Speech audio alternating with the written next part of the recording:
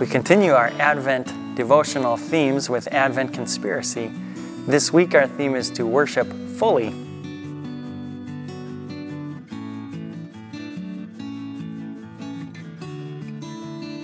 And I love this story of the Magnificat from Luke chapter 1, verses 39 through 56. I'm not going to read the whole thing, but this is after Mary visits Elizabeth. Mary has found out that she is going to be giving birth to the Messiah, and she responds with, My soul glorifies the Lord, and my spirit rejoices in God my Savior, for he has been mindful of the humble state of his servant. From now on, all generations will call me blessed, for the Mighty One has done great things for me.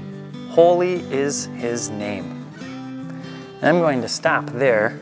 The reading continues. It's a beautiful song. I'm not going to sing it for you. But the reason I love this for our theme, Worship Fully, is Mary has just found out she, an unwed young woman, is going to be giving birth to Jesus the Messiah.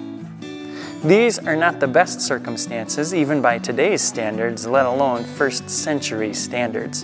And yet, Mary, in the midst of such a difficult circumstance, worships God. And I think it's important to reflect this season, especially on pretty easy sometimes to worship God when everything's going just the way we would want, and life is good, and everything's perfectly in place. And yet we look to Mary, a young woman who worships God even when things aren't going perfectly.